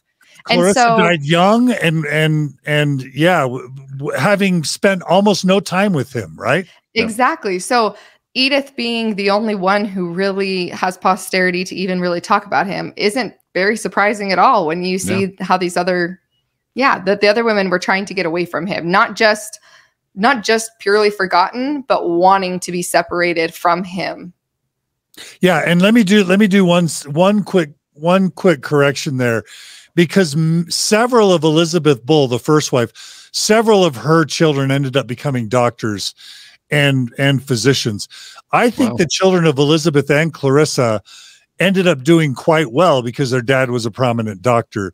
So oh, I okay. so I so I many many many of the children ended up affluent and respectable from the first, second and third wives. So I don't want to leave an impression that that didn't happen. But certainly the children of the first wife Elizabeth are you know by by the time it hits the grandchildren they're like yeah granddad divorced grandma, you know, and and mm-hmm. they were they were estranged. So anyway, slight slight correction there, but otherwise, absolutely. Yeah. Um, go ahead. Were you going to say something, Sam? About no, I was just saying fascinating, fascinating uh, information and history that you you were able to gather up with such little information out there. The fact that you were able to gather so much up is is uh, encouraging me to want to try to put together something with a little bit more information about my family as well because I mean I don't have to go far to find polygam- polygamy in my in my heritage. Uh, but growing up in that way, there's still so much to uncover and so much I would like to know about feelings and kind of the way that uh, everything, the the way that my family actually felt about polygamy, not just what I saw. Yeah, yeah, that's that's why like I it's weird because I feel like I have the spirit of Elijah. Mormons call spirit of the light Mormons call a passion for genealogy the spirit of Elijah. and oddly, as a as an excommunicated ex Mormon, number one enemy, you know, the church calls me their number one enemy in the world. Like now, I've caught as an ex Mormon apostate, I've caught the spirit of Elijah, and I'm learning all these things about my about my ancestors. Really quickly, wow. something cool about Margaret is that once she moves to Oregon, apparently she became a writer to help support herself. And she wrote some articles for Cosmopolitan magazine. Hmm. She was a pro- prolific writer, which makes sense because her dad was an editor of the Deseret News. Um, and then it goes on to say that her dad um, ultimately, after he left the Deseret News, became the publisher and editor of Salt Lake Herald Journal, and that sometimes he wrote articles against the Mormon Church, even though he was an active member of the Mormon Church. So I I have some other apostate sort of anti-Mormons in my ancestry because I'm sure Margaret's dad ended up hating polygamy and hating aspects of Mormon polygamy. And so it would make sense that he might publish articles against the church, right? Especially yeah. the way his daughter was treated by her by her husband, right? Right. Yeah. So look at that progressive Mormons in John Dehlin's ancestry. My, my ancestry, yeah. um, uh, yeah. So one other quote that was just super bizarre out of left field, as if we haven't seen enough shocking things related to Margaret. One of Margaret's descendants this is a this is a, a dialogue between a Sylvia and a Clara. So Sylvia says, "Okay, is there anything else you can remember either about your mother or your grandmother?" So I think this is Clara. This is Margaret's granddaughter, Clara. So Clara writes, "Well, I think going back to Margaret Louise Sloan, my grandmother." I think there was quite a bit of conflict between her brothers and her husband, Dr. William Brigham Parkinson. I know that mother told me once that Uncle Ed and Uncle Bob threatened to horsewhip grandfather if he didn't have my grandmother sealed to him. Oh, wow. What do you guys make of that?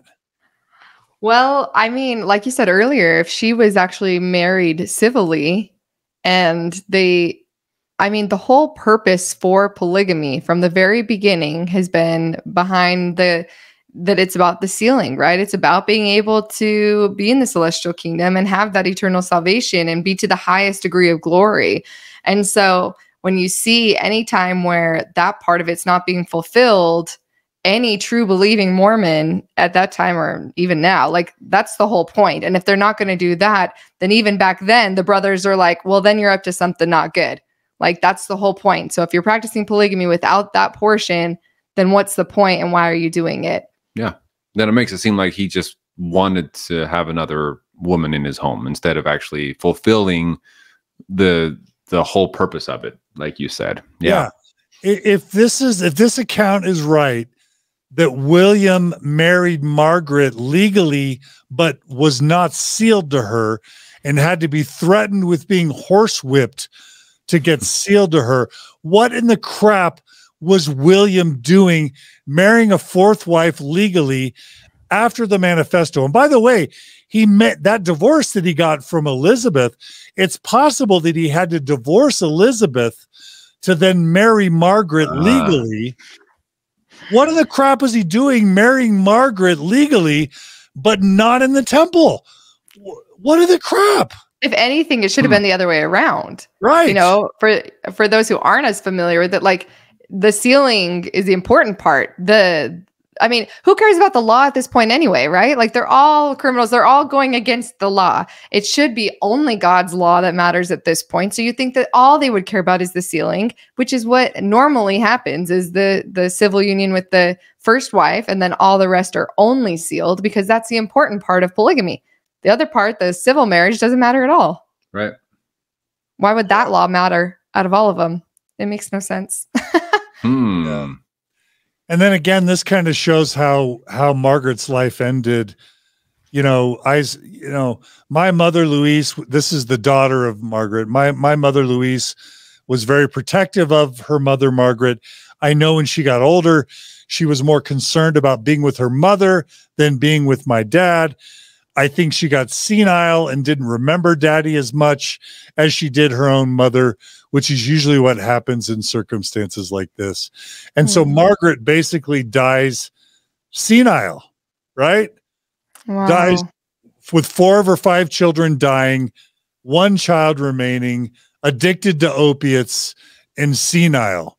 That's basically how life ends for Margaret and totally forgotten, right? And Yeah. uh, that's why I call Margaret the darkest of all these accounts, Wow. you know? Yeah. Um, so that's in summary, and I've, I've I've got just a little bit more, but like in summary, that's that's the legacy of polygamy and William Brigham Parkinson. First wife, you know, estranged, divorced, left her last six years blind and diabetic without a husband around. Clarissa Taggart dies young, uh, you know, having never spent any meaningful time with her husband William. Edith, who who got the most of William, but even Edith couldn't keep William around because he runs off with with Margaret eventually, and then Margaret, who uh, doesn't last what seven ten years with William, and ends up being estranged from him and wanting to move as far away from him as she possibly could, loathing him, dying senile.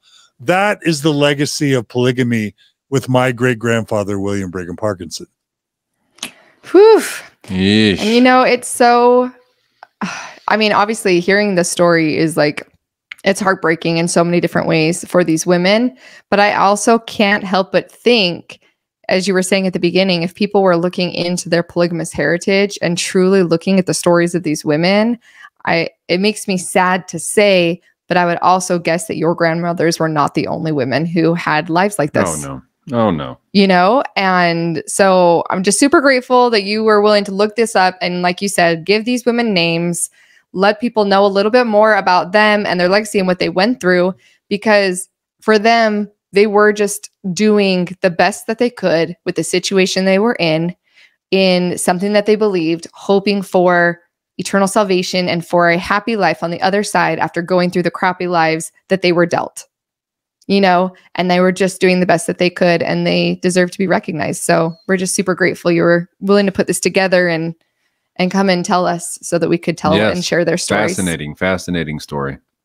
Well, you guys have been super patient, and I'm honored that anyone would care. Listen, I just want to share with you some excerpts from William's obituary because it it really does put like a demented twist on all this. Is that all right if I just share a couple things? Sure. Of course. So so I'm reading from William, you know, Brigham Parkinson's obituary. I'll just read a couple excerpts. So when they're talking about his, you know, early years, it, it writes after suffering much abuse from his stepmother, the lad ran away from home. The same year he was adopted by John W. Chapman of Helen, Helena, Helena, Montana, who cared for and partially educated him until he was 15 years of age.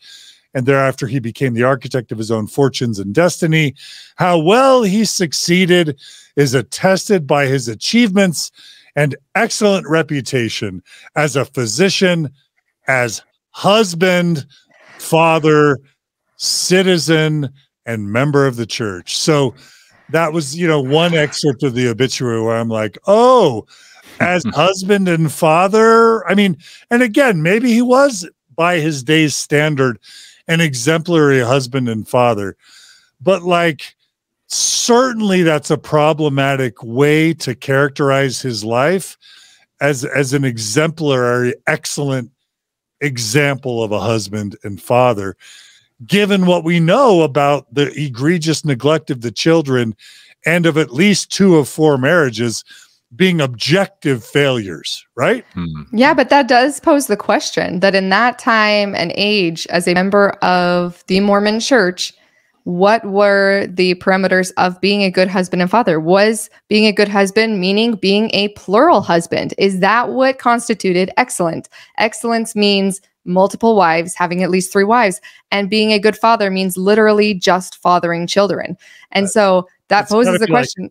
serving in the church Yep. bringing honor to the church, having lots of babies for the church, And living plural marriage. of- making a bunch of money for the church, and and and and living the church's doctrines, which is polygamy. that's what defined a, a good person back then, right? Yep. yep, that's yep, that's exactly what I'm well, saying.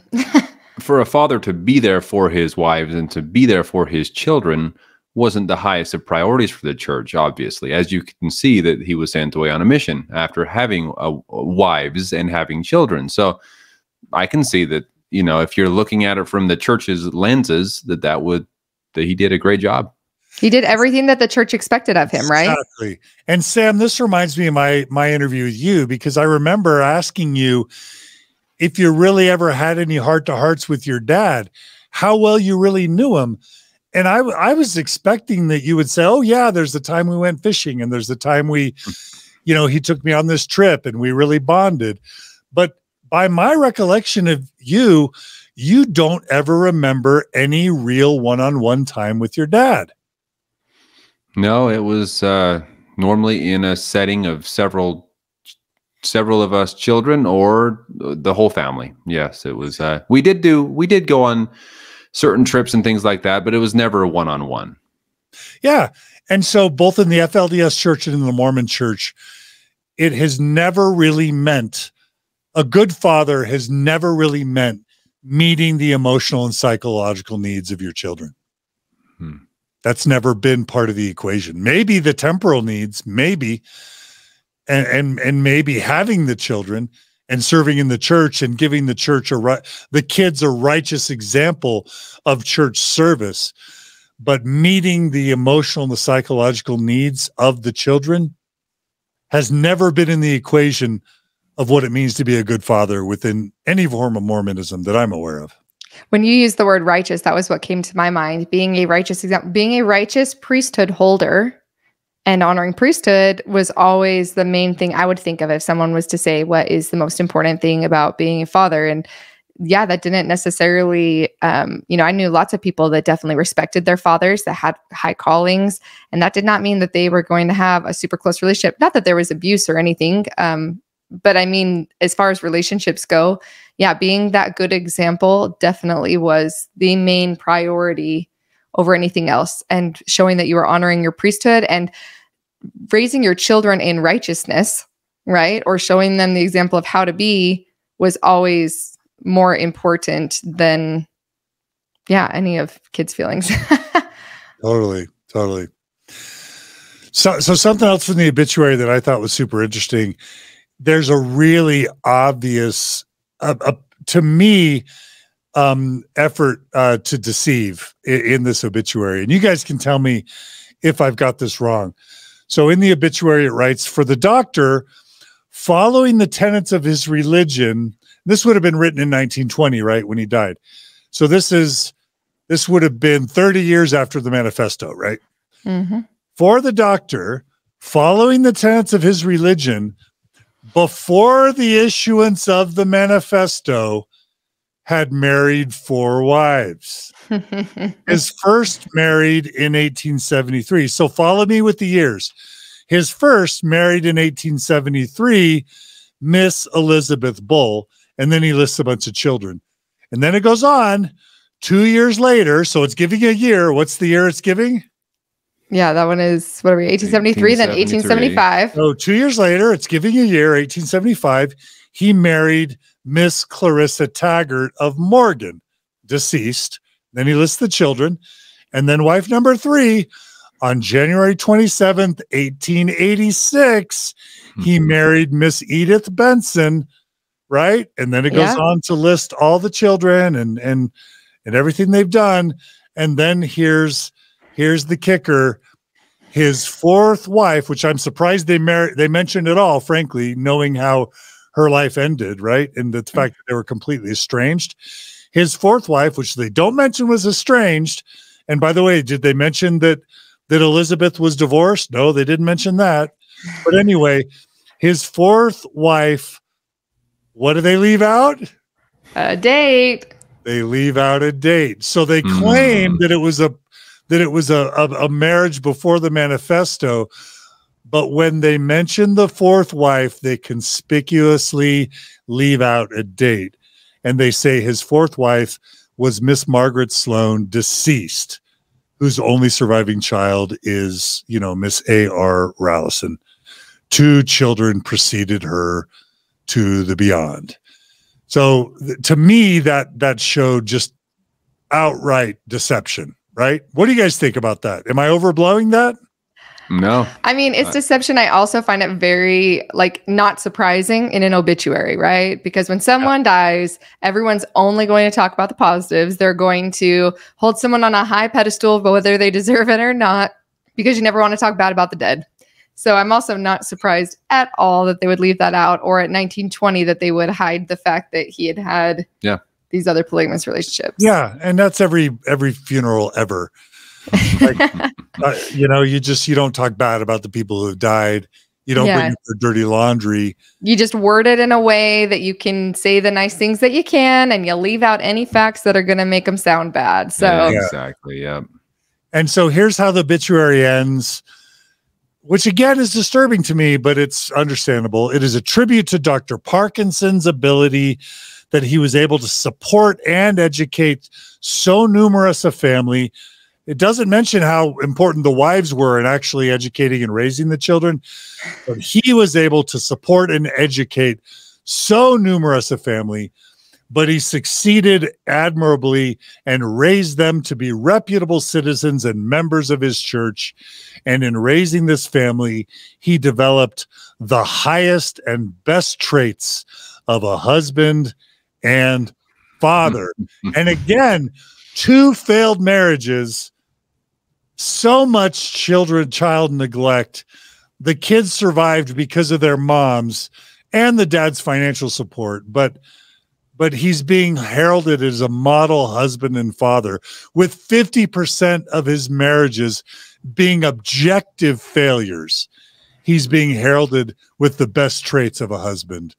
And I don't hate the guy. I'm sure he had good traits, but I mean, isn't that a dark way to describe the end of his life? A little bit. does it say does it say who wrote his obituary because Uh, typically it's a wife right but all of his wives were deceased before him is that correct No. no edith was still So uh, his fourth wife was also still alive. no, no, right? no. His fourth died. died his fourth died No, yeah, you're right. His fourth sure. wife died before for him. sure. No, I But some of them were still alive. I thought. I think that maybe Elizabeth outlived him. Oh, Or was it died. Elizabeth? but she wouldn't have written his She did. obituary Elizabeth i was just died two years after, but she, yeah, she wouldn't have. I'm guessing it was one of his doctor sons, right? Mm.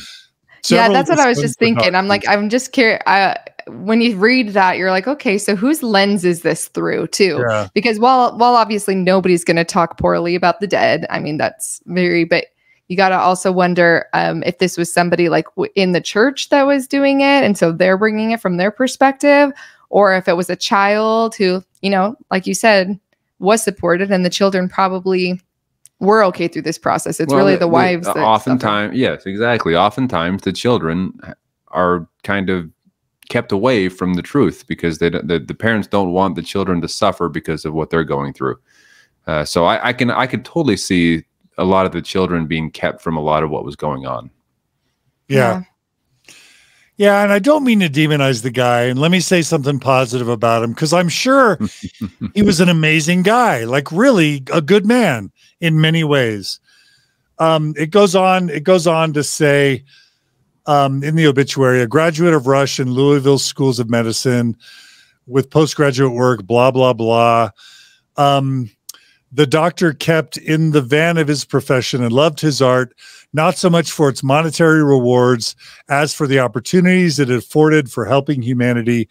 For the doctor, although a surgeon, was not a Shylock to demand his pound of flesh from nearest the heart. No major operation had to await the raising of the fee before it was performed, nor in his little private hospital were patients denied until the fee was forthcoming. So apparently, he had a reputation, according to the obituary, of providing his medical services even if people couldn't afford to pay. And it goes on the the family home never had to be mortgaged to guarantee his fee. Um, so he apparently he gave discounts to many of his patients, for the doctor had a heart that beat for humanity. So who knows? He probably was a charitable, kind guy. Um, in many ways. And then it goes on to say he had gone, for surely he has gone to his sure reward. I do wonder if he got the second anointing. That was just a, something that I kind of wondered. Um, but just just if you don't, if you if you think that dirty laundry is is not um, to be seen in obituaries, you can see that women can be thrown under the bus because it describes his childhood. It says, while the foregoing gives the main features in his life history, there have been various other things which have led to the shaping his career. Left an orphan at the age of 10, he suffered abuse at the hands of a stepmother and ran away from home, after which he was bound out. So the the stepmom, even though she had lost her husband and was left this orphan, it's okay to throw the stepmom under the bus in the obituary, basically. Well, because that's the story of how he was able to be self-made. So great, yeah. right? Part of it's yeah, it's part of that's his why he's so great story. Yeah, yeah. And there was another obituary I found later that actually described him as a man with only one wife, and the three wives and the rest of the kids were actually completely left. Oh wow! Which wife was it? Like, uh, th- in this case, they mentioned Elizabeth Bull, and they left oh. out the other three wives. The other three. Interesting. Probably that one may have been written by uh, one of Elizabeth's children. I don't know, and maybe, yeah. So, um, yeah, and then of course they mentioned his career and, and all sorts of other things. So, anyway, every you guys have been super patient. Everyone else has been really patient. I put one slide slide together to kind of summarize my takeaways in terms of like my concerns about polygamy after reading my family's heritage. And I mean no disrespect to my ancestors. I love them and I'm proud of them. And I'm I'm sure if I'd met them, I'm sure in many ways they were better men and women than me. But I'll say this: I think polygamy was good for good for the husbands in the sense that they were able to pursue careers and education and and gain power and money and influence. Um, so overall, polygamy was good for the husbands. There was a lot of sex and money and status and power wrapped up in that. I would say it was mixed for the children because I do think the children in many ways benefited from from the the lives that they lived. Many of my many of William's children went on to become wealthy doctors and physicians and people of of status and money. So if your dad has chosen to have polygamy and if he makes a ton of money and gets a bunch of status because he's favored by the the the church or the cult, then many of the children will benefit from that. I say it's bad for the women. The wives were egregiously neglected, died way too early, had had relatively horrible lives, even though they told everyone it was a wonderful life. I, I think it was not a wonderful life. And I think it was tragic that some wives get favored over others because that leaves other wives to be less favored and to be estranged. And in my case, there were at least two estranged. In this case, there were at least two estranged wives. And I see that as tragic and as abusive. So overall, polygamy was what I call a Potemkin town. Potemkin towns were these towns, I guess, in in in early communist Russia, or maybe it was pre, you know, um, uh, you know, pre pre communist Russia, where the the czars would have these dilapidated, awful towns, but they would have visitors come to the towns, and they wanted to make the towns look good. And so, ar- along the main street, they would put up these facades on the houses to make the houses look beautiful, to make them look affluent and wealthy. But it was just the the faces the facades of the house, the visitors to the towns weren't allowed to go behind the houses, weren't able to go off the main street. And these were called Potemkin villages or Potemkin towns, where the face looked beautiful, the appearance looked good, but what, what was behind the scene was tragic. And I'm calling early Mormon polygamy a, a, a, a metaphorical Potemkin town with a positive face, but with a dark, hidden underbelly. And then finally, I'm going to say it was good for the church because these men paid a crap ton of tithing, were able to get educated, make a bunch of money, bring the church a bunch of money, power, wealth, and status. and and the church benefited, um, but it was at the expense of the wives and the women. So that's my summary of what I learned from my research of of, of Mormon polygamy and my ancestry. Wow. Wow. Thank you so Yes. much, John. Oh my word. I mean, that's just yeah, you've really inspired at least me and I'm sure there are so many of our viewers that um are feeling inspired and are going to want to go find out more of their family history. Um not just, you know, obviously it's the sad portion, right? Like there's a sad element to it of finding out um things about your ancestors that aren't positive or aren't the way that you would hope to think of of the people that um, are your ancestry. But really being able to honor those people that um, maybe didn't get the honor that they deserved in this life. Right. you know i think that that's wonderful and beautiful. And like you said definitely worth the time and the effort to get to know them to tell their stories. And we're just grateful that you were willing to come do that and uh, share that with them and share what it was like for them to grow up in polygamy Yes. Wow. Seriously, thank you so much for your insight and uh, all this information. Uh, to be completely honest, I am. I I, I want to go sit down right now. I grew up with four moms. I want to go sit down right now and write everything I know about these four moms because it's true. Uh, what what will be known of these four women after after they uh, pass on? And so it's it's something that I it's really struck a chord with me. So thank you for all of all of this information you've put together for us. Yeah, in some sense, in some sense, it's the you know the church, the Mormon Church in 2022 is a hundreds of billions, if not a trillion dollar church. It's the wealthiest, it's the wealthiest church in the United States, right? Mhm. And just like America was built on the back of slave labor and, and of Native American displacement, the wealth of the Mormon church was built on the back of abused and neglected polygamous women. Hmm. And that's just a fact. And and and if people think I'm cherry picking, this was just my grandma's family. I didn't make this up. I didn't cherry pick. This is the grandma that I knew who was involved in polygamy. And I would encourage everyone to write in.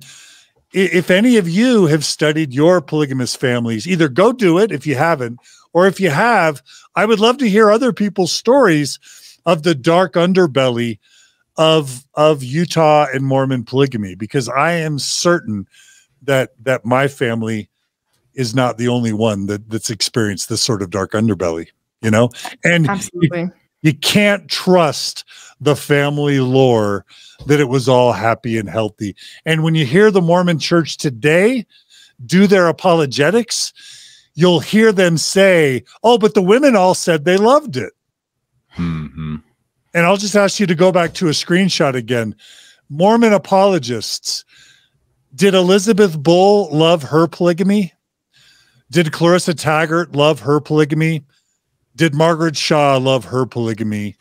Stop saying that the Mormon women love the polygamy. You can cherry pick and find women who write positively about the polygamy, but it's likely cherry picked and it comes at the neglect of all the women who had a horrendous experience. And I'm certain that Margaret, Edith, Clarissa, and Elizabeth were not the only ones who had horrible experiences. For Yeah. sure. For sure. So- absolutely I don't mean Well- to be so serious and angry, but No. No, I mean, Yeah. you have It's a- every right to be, and it's your family heritage and it's your ancestry, and you have every right to any emotion that you feel and all of the emotions. Like you said, the emotions of of pride and um, knowing that you come from such strong women and the feelings and emotions of frustration. You're allowed to feel all of those emotions, and they don't have Yes. to be mutually exclusive and they don't have to be all one thing. True. Yes. So thank you so so so much for putting this together for us, for uh, for being here, for us, and for all of our listeners. We really have enjoyed this, and uh, just want to thank you again for doing it for I, us. bet you, I, bet, I bet you guys didn't expect a four hour interview, right? this is our first four hour interview, and we could not imagine doing with anyone other than you, John. So Yeah, yeah, is yeah. perfect. it just And is fitting that I'll be your longest. Hopefully, I'll be. That's It'll- fantastic. yes. And for anybody that wants to hear more about what it was like for Sam to grow up in polygamy or stories um, of other people leaving polygamy. And we're really just trying to um, share and empower those who have left that community and really raise compassion for those people currently now or people's family and ancestry in the past. And so, um, if you like that, please like and subscribe to our channel. Go to Mormon Stories if you're somebody who um, wants to. Oh, there's so much, such a plethora of so much information, so much, and so many people's experiences. Whether you're in a faith transition, whether you just want to know more so that you can make a consented decision on how you feel about the LDS Church, please go check out John Dehlin on Mormon Stories. And we just thank you all for for listening. Yes, thank you all. Thank you, John. Everyone, go subscribe to Mormon Stories, and uh, thank you for being here. We'll talk to you guys are awesome. I'm, I'm, super honored. Keep up the great work, and uh, you guys, everybody, provide.